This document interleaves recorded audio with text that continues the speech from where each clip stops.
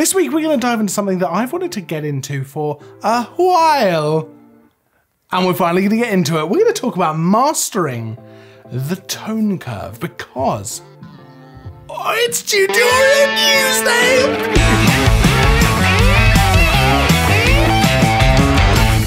Guys, I went too hard on the intro, but nonetheless, welcome back to Tutorial Tuesday, where each and every week, each and every Tuesday, we bring you a brand new, fresh photography tutorial. And this week was actually the closest week I came to missing a week. You know, there's just been a lot going on, and it's actually late Tuesday afternoon. So, woo, this this one came down to the wire. But today we're actually going to get into something that I've wanted to do for for quite a while. We're going to talk about mastering the tone curve. Now we're going to be working in Lightroom.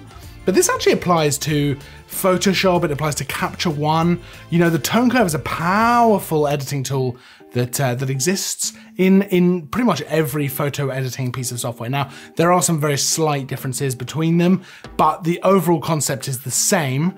And generally speaking, you're gonna get the same kind of performance uh, from whichever program that you use when it comes to the tone curve. So let's just dive into Lightroom. I've got this photo here, which uh, I've done nothing to. I've done nothing to it to edit it other than to just straighten the horizon because I just messed up just a touch uh, in camera. But that was because I was so keen to get the shot of the surfer heading out, you know, on a cold winter's evening.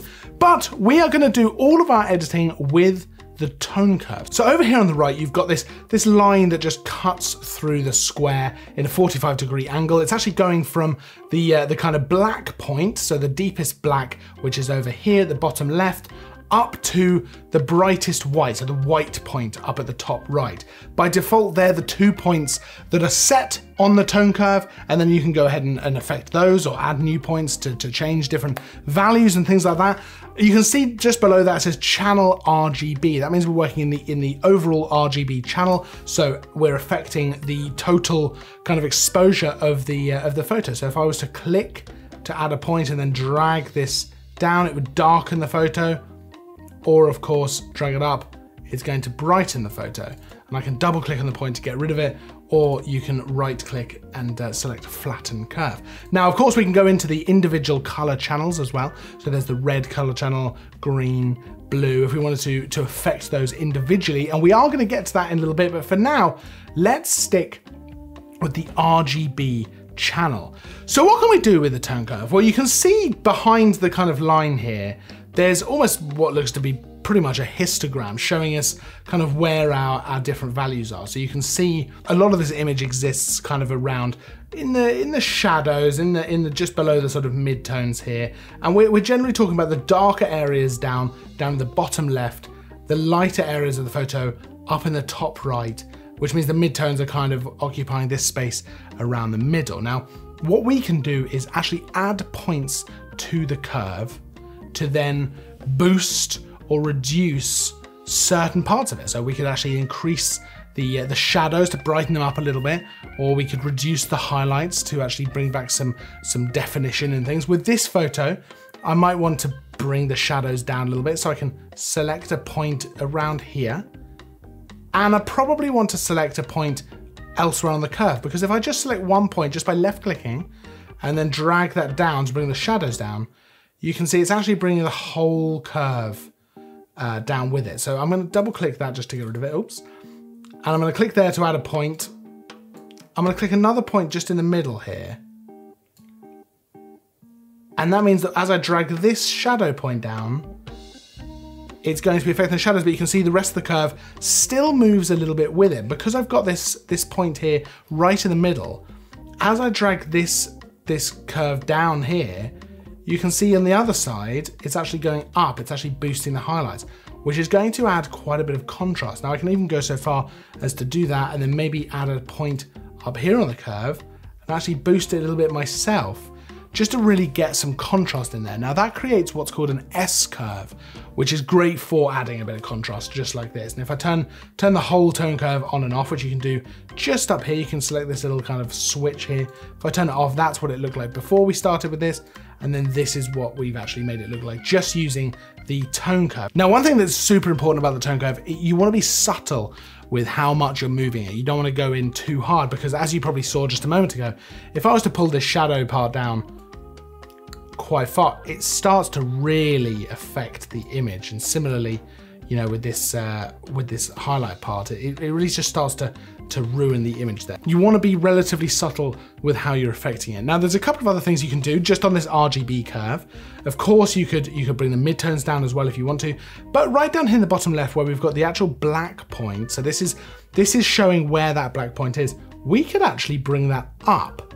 So if we actually left click on that and drag it up, you can see it starts to fade all the black in the image because we're actually raising that black point. Now again, you don't want to go too crazy with this because it starts to get starts to get really out of hand as you can see. But if you raise it a little bit, it almost gives it a little bit of a faded film effect.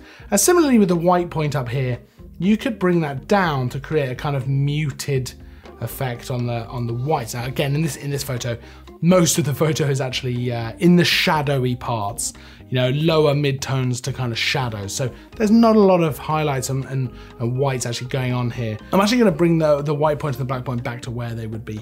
Anyway, so I'm just gonna press Control Z to undo everything I've done there. And I'm quite happy with the amount of contrast we've added to this image, just with this kind of basic S curve here. You know, it doesn't always have to be something crazy. It can be something just like this. So let's talk about in actual individual color channels within the tone curve. So just underneath the, uh, the actual curve itself, where it says channel and it says RGB, let's select the red channel. Now, you'll see it's, it actually looks basically exactly the same as the RGB curve. It starts off as a straight line. And again, you've got this kind of histogram behind there, but showing you where the red is in the image. So it's mostly kind of down here in the shadows. And if we go through the different colors, greens, very similar sort of thing, and blues, very similar sort of thing, if maybe a little bit lighter. But let's go back down to reds. Now, let's say we wanted, let's say we wanted more blue in the shadow. That would be something that I would often do when I'm actually uh, editing these photos. So let's come down to blue. One way we could, of course, do that, we could add a point here at the shadow part for the blue and just raise that up maybe add another point kind of mid-tone wise and, and bring that back down. And you can see that's added quite a lot of blue to the image. If I turn that off, the whole thing off and turn it back on, it's added quite a lot of blue, but it's it's not a very subtle way of doing it, things, and, and, and it, it, doesn't always work particularly well. You know, this image, it does work not too bad actually because there's quite a lot of blue here anyway, but let's look at a different way that we could achieve the same effect. We could actually get a nice kind of color grade going on with the tone curve. So let's come up here to the red channel. Let's actually add a couple of points here. Let's add one in the middle. Let's add one down here in the shadows and then one up here in the highlights. Now, let's actually drag the shadows down a little bit with the reds. And you can see as I do that, you start to see a lot more of the blue and the green coming through in the shadows. So let's drag that down a little bit. And let's, let's come down to the green channel where we can add maybe three points as well. And with the shadow point, let's bring that down as well.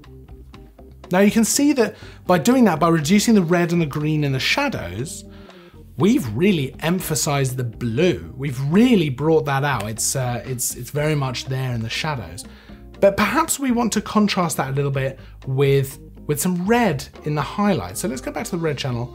Let's maybe boost it a little bit in the highlights and then come down to blue where we can add the three points.